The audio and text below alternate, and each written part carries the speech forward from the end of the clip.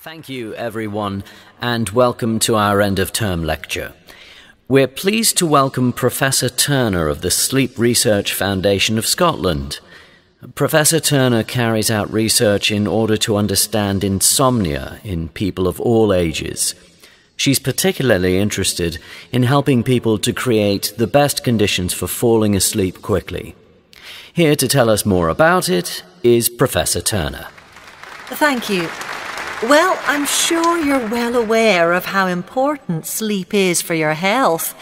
Unfortunately, we often find it difficult to fall asleep when it's most important for us to get a good night's sleep. Just before an exam or a big match or some other event that's making us nervous and stressed. The thing is, you need to be relaxed in body and mind in order to fall asleep. And in times of stress and exam pressure, relaxation is the last thing on your mind. You don't fall asleep because you're worried, and then you get more worried because you know how important it is for you to be asleep, and you go round in circles not falling asleep. So, what can you do to fall asleep within 10 minutes of going to bed? Here are a few simple tips.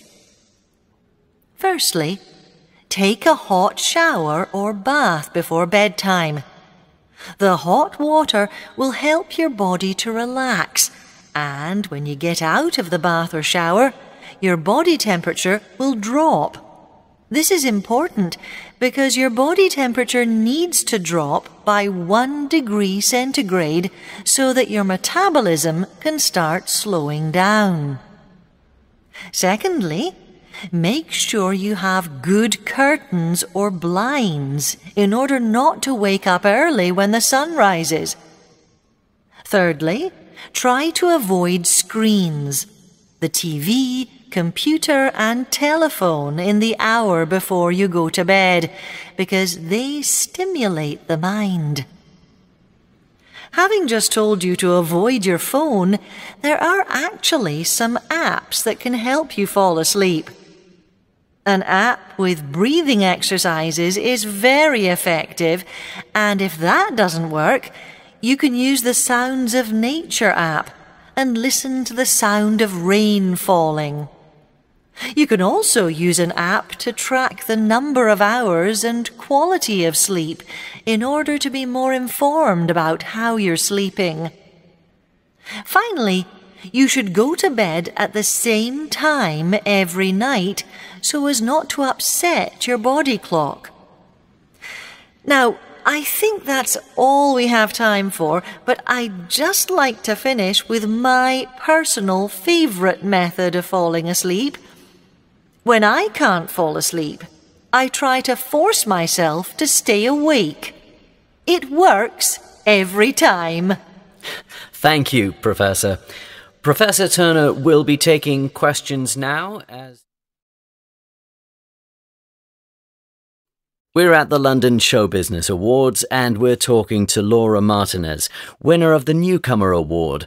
Laura, you've already appeared in a TV series and you've had great reviews for an album you released last month, and you're only 17. How did you do that? Oh, thanks. Um, I don't know. I'm lucky, I guess. I've always wanted to be a performer and I put some videos online and that's how I was discovered. So, would you tell other young musicians and actors to put videos online and wait to be discovered? It's one way to do it. Ed Sheeran did it that way. Ed is one of the most successful singer songwriters of all time. His albums are always in the charts, and his hit single, Thinking Out Loud, was the first song to be streamed half a billion times on Spotify. That's enormous. Very impressive. Ed Sheeran's great. He started doing live gigs when he was very young, didn't he? That's right. He moved to London when he was 16 and started playing small venues. He has a lot of fans and he had a hit single which reached number one before he even signed a recording contract let's talk about your acting. Who are your role models? I am inspired by Millie Bobby Brown. She plays the part of Eleven in Stranger Things. I love the way she plays that character. Oh, yes, the audience love her too. Stranger Things had over 8 million viewers two weeks after it came out. Millie has that star quality, the kind of talent some actors can only dream of. Exactly. Did you see the cast of School of Rock collecting their award for Best Musical? Yes, they're amazing. They're only 12 years old and they have to put on a show four times a week. I want the lead guitarist and the lead singer to play on my next album. Well, Laura, good luck with that, and thank you so much for talking to us. Thanks. A viral video is a video that becomes popular very quickly through the internet. People share the video through social media and email. The first real viral video came out in 2005, the year that YouTube was created. The video is unusual because it's not particularly interesting. It shows one of the founders of YouTube speaking to camera for 19 seconds about the elephants in a zoo. There isn't a formula for a viral video hit, but the most popular ones have three things in common. Firstly, they tend to be short. People have short attention spans, especially when they're looking at websites so the most successful viral videos are around three minutes long. Secondly, they stir up your emotions. They may be funny, sad, shocking, entertaining, or even extremely annoying, but they make viewers feel something. The third ingredient is story. Many of the most popular viral videos tell a story and the ones with an inspirational ending are the most memorable. A viral video is a video that becomes popular very quickly through the internet. People share the video through social media and email. The first real viral video came out in 2005, the year that YouTube was created. The video is unusual because it's not particularly interesting. It shows one of the founders of YouTube speaking to camera for 19 seconds about the elephants in a zoo. There isn't a formula for a viral video hit, but the most popular ones have three things in common. Firstly, they tend to be short People have short attention spans, especially when they're looking at websites, so the most successful viral videos are around three minutes long. Secondly, they stir up your emotions. They may be funny, sad, shocking, entertaining, or even extremely annoying, but they make viewers feel something. The third ingredient is story. Many of the most popular viral videos tell a story, and the ones with an inspirational ending are the most memorable. I have to tell you about this video I saw. Somebody sent me the link yesterday and I think I've watched it 30 times. It's absolutely amazing. It's this boy, he must be 13 or 14, playing the piano at a school concert. At first, I thought, why has she sent me this? Then the boy started singing. Wow, his voice! It really took me by surprise. He sings Paparazzi by Lady Gaga, which is one of my favourite songs anyway, but he sings it so well. He's got the kind of talent other singers only dream of. I watched an interview with the boy afterwards, and he's so sweet. He got a recording contract all because of this video that his mum posted on YouTube.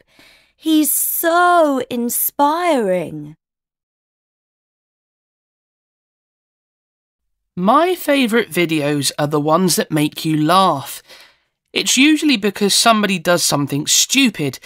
For instance, there's a video of a man who dives into a frozen swimming pool. Well, I say he dives, but of course he hits the ice and slides across the swimming pool. How can you be so stupid? Then there's another hilarious clip of a girl walking along in a shopping mall. She's texting and she isn't looking where she's going, and she trips over and falls into a fountain. I couldn't believe it. I'm not sure why it's so funny to see people having silly accidents, but perhaps it's because it makes you feel better to see how stupid other people are. Also, these viral clips contain an element of surprise, something unexpected. I love the one where a baby bites his brother's finger. The little brother puts his finger in his baby brother's mouth, and surprise, surprise, the baby bites it. I love the expression on the baby's face. He's very pleased with himself. Hi, my name is Nigel Brown, and I'm in advertising. I watch videos all day, especially videos that get more than 1 million hits on the web. These are the kind of viral videos that our clients want. I love my job, but when I was growing up, I dreamt of being a famous singer. My parents told me that you had to know somebody famous or you had to have famous parents. But that's all changed now. Anybody can post a video of himself on the web, and any of you could be famous by next Saturday. Of course, it isn't that easy. There are over 100 hours of video uploaded to the net every minute, and only a few have more than 1 million views. So, how do you predict the kind of video that will go viral? I'd like to give you some examples of successful video. Jessica, is that you? Yes? What's the matter? You sound upset. Upset? I'm absolutely furious. That's it. I am never going to give an interview to that magazine again. Oh dear, what happened? They know I'm serious about my profession. I've done Shakespeare. I've made films with some of the best actors in the world. I've written a screenplay and I've just directed a film that's been nominated for an Oscar. That's right. So, what went wrong? They didn't ask me about my work. They asked me what I was going to wear to the Oscars. They asked me who I was dating and why I'd split up with my fiance. They asked if I'd put on weight and whether I was on a diet. They asked you what? Yes, and that's not all. They wanted to take photographs and they asked me to wear something feminine. Then they asked me not to look too serious and to blow a kiss at the camera. blow a kiss? Who do they think I am? Marilyn Monroe? This week's media report asks the question Do young people watch television? And if so, what do they watch? In the studio with us, we have Professor Moore of the Centre for Media Studies. So, Professor Moore, what did you find out about the viewing preferences of 16 to 25 year olds? According to our research, the youth of today watch a lot of TV, particularly online series. The preferred genres of 16 to 25 year olds are fantasy, science fiction, silly humour, cool vampires, and cookery programs. Hang on, did you say cookery programs? That's right. The latest news is that food is the most popular new reality TV format. According to research, we spend more time watching food on TV than we do cooking it. And 50% of people watching top food programs like the Great British Bake Off are 16 to 25 year olds. So, sugar is the star of reality TV. Exactly. The format of the Great British Bake Off is so popular that it has been copied in numerous different countries all around the world. The Australians love it, as do the French, the Americans, and the Poles. Another very popular series is MasterChef, a competitive cooking show that originated in the UK in 1990. Entertainment comes in many forms, but young people of today really love cookery programs. But do people actually make the cakes and dishes themselves? Mm, some do. A survey was carried out on how TV programs influence people, and the information collected suggests that 20% of viewers admitted to making dishes at home just so they could take photographs and share them on social media. The interests of young people are so difficult to predict. Surely they live on spaghetti, fast food, and takeaways, and life is too short to stuff a mushroom. What use is information about how to serve shellfish or ice wedding cakes? Good point. I think there are three factors that explain their popularity. First, these programs have excellent TV presenters. Then there's the fact that this generation is creative, and cooking is one way of being creative. And finally, there's the competitive element, which made Bake Off and MasterChef semi finals and finals the most watched TV programs of the year. Well, that's very interesting, Professor Moore. Thank you for coming in. Now we're moving on to.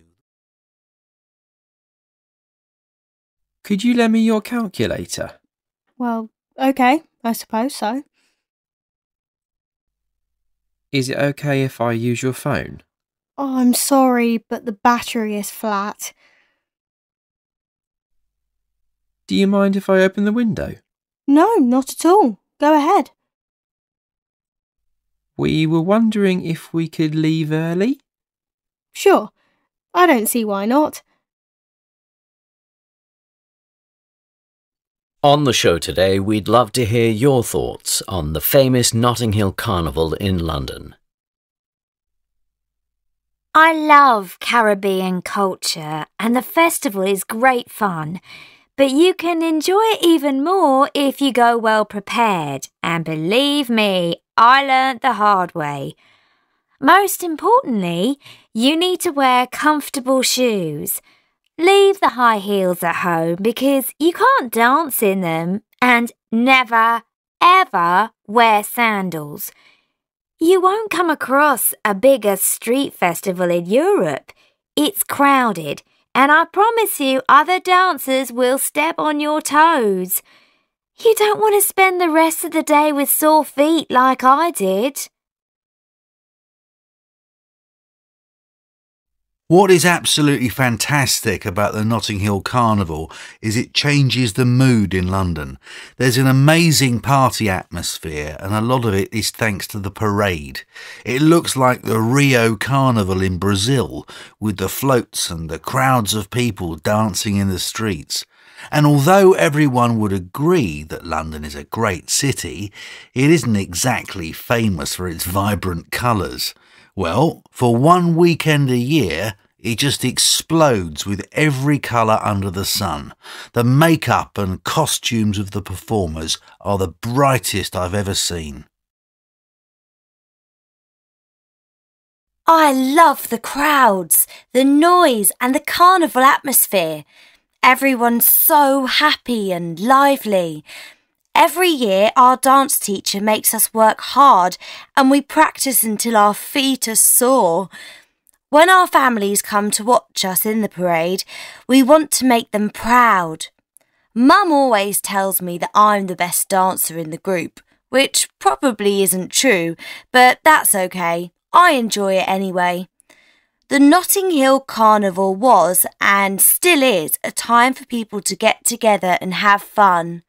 I'm really glad someone came up with the idea. I'm extremely lucky. I live in Notting Hill, so the carnival is practically on my doorstep. It gets fairly noisy here, but I don't mind all the performers and the Caribbean music at all. Of course, the streets are pretty crowded too with all the visitors. Apparently, over a million people attended this year. Some local residents told me that they found the carnival rather annoying because it made it difficult for them to come and go. But really, it's only on for three days. I love every minute and always look forward to it. Excuse me, madam. Who, me? Yes, you. Can I have a look in your bag, please? My bag? Why? I mean, yes, of course. I don't think you've paid for these items, have you? Oh dear. Um, yes, of course I've paid. Can I see your receipt, madam? Receipt? Uh, yes, let me see. Oh dear. I was going to pay, but I forgot, and then. I'm not guilty, honestly. I didn't kill him. I wasn't even there.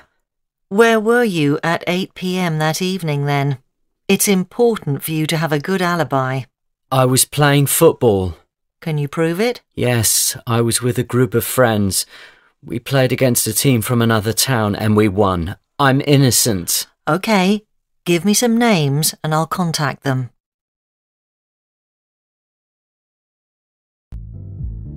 What games have you got on your phone? Boring ones. Anyway, it needs charging. Got anything to eat? No. Oh, I'm bored. Why did you do that? Dunno.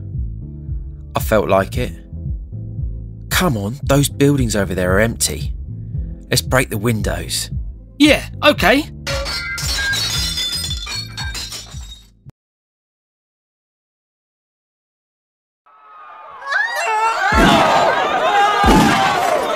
Nobody move. You, hand over the money. Put it in this bag. Come on, hurry up. Right, give me the bag. OK, let's get out of here.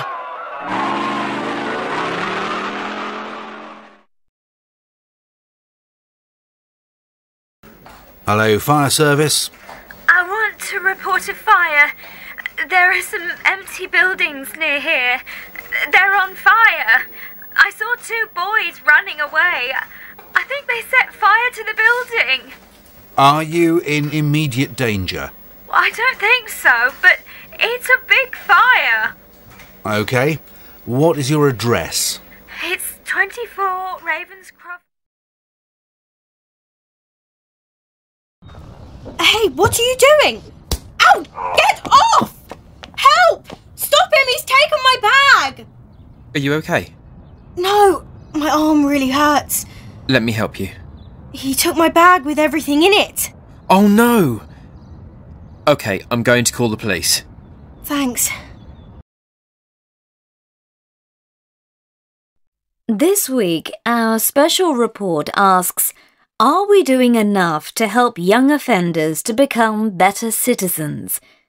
Today, three out of four young offenders who are released from prison go on to commit another crime and return to prison. These statistics suggest that young offenders' prisons are failing.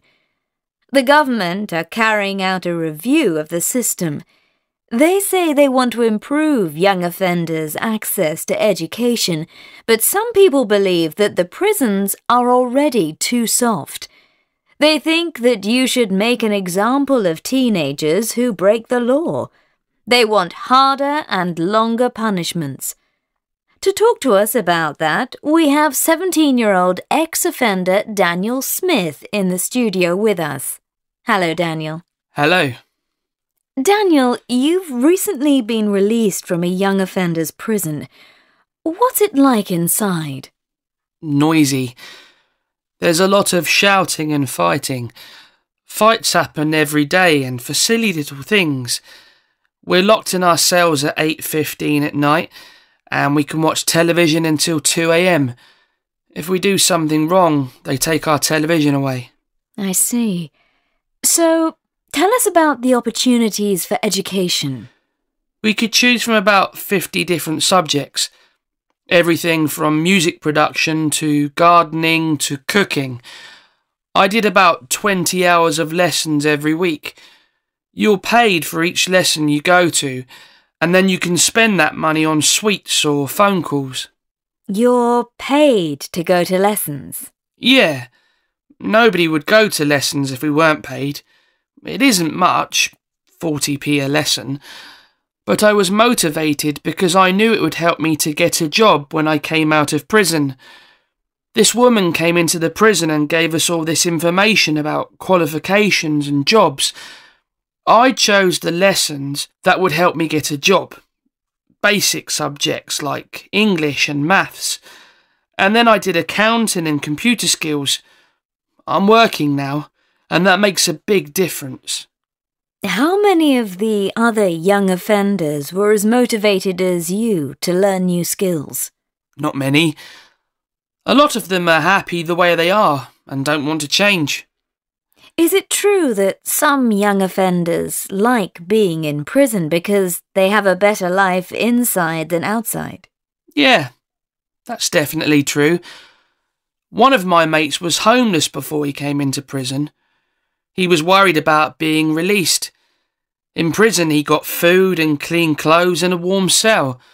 Outside, he was living in a box on the street.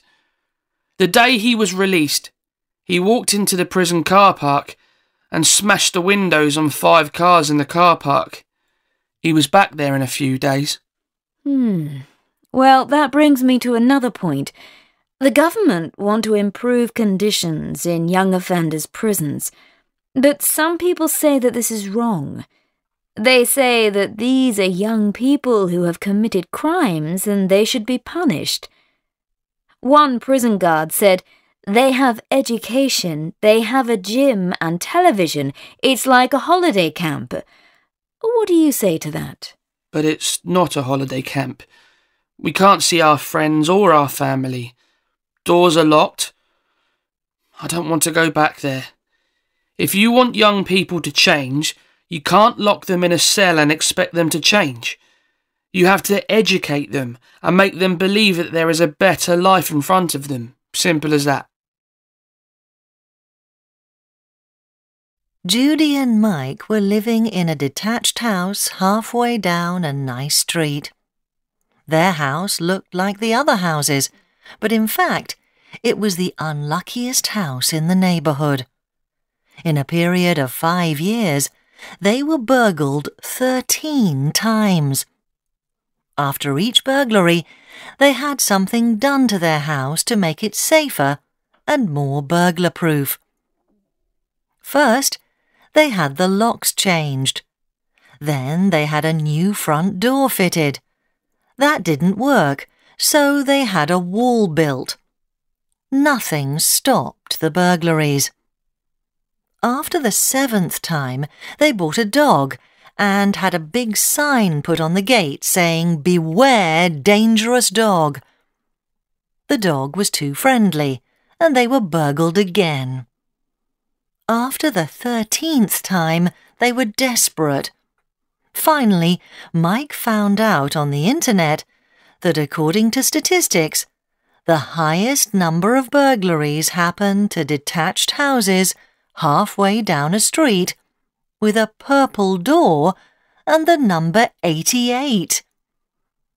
They couldn't get the house moved to a different location, but they've had the door painted green and they're going to have the house number changed.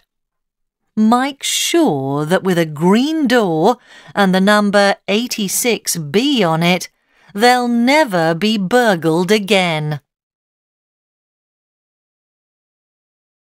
In today's podcast, we want you to ask yourself the question Am I doing everything possible to protect myself online? If the answer is I don't know, I hope this podcast will help. Here are our five top tips for staying safe online and not falling victim to identity theft. Number one, passwords.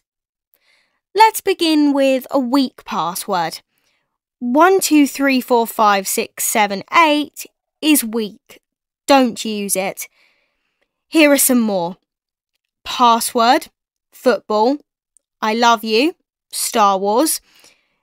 If you use one of these, you can only blame yourself if a hacker gets into your account and steals your identity. Use strong passwords with a combination of symbols, numbers, and letters. To save yourself some trouble, use a password manager. Go to our website for links. A final word on passwords. Keep them to yourself. Even with your best friends, don't tell one another your passwords. Number two, personal information. Hackers and identity thieves want your information. So when you're online, you should be careful when somebody you don't know asks you to provide information about yourself. It could be a fake email or message. Delete it.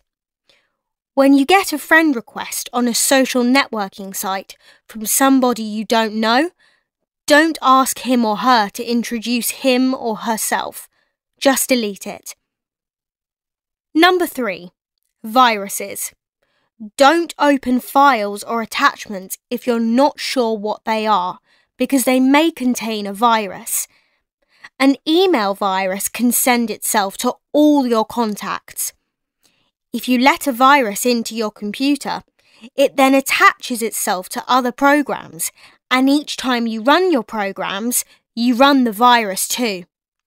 For links to antivirus software, visit our website. Number 4. Software updates. There is a simple way to protect your files. Update regularly. When you get requests for updates on your apps, do it. When you update a file, you also download the latest security. Viruses update themselves all the time, so you need to update regularly too. Number 5. Your digital footprint. Be careful when you and your friends send each other videos and photos. Remember they're likely to stay there for a long time. Don't post anything you wouldn't want your grandmother to see. I think I'm going to do voluntary work this term. How about you? Maybe. What are you thinking of doing? I'm not sure. You're really good at maths. How about teaching younger pupils? You could help them with their math homework. Oh no, I'm not patient enough. Teaching isn't my thing at all. I don't have any younger sisters and brothers, so I'm not used to young children. I'd rather visit an elderly person. Well, that would be a very good thing to do. I can't teach younger kids either. They annoy me. And to be honest, I'm not very good at any school subjects. That's not true. You're good at art. Why don't you help pupils with art projects?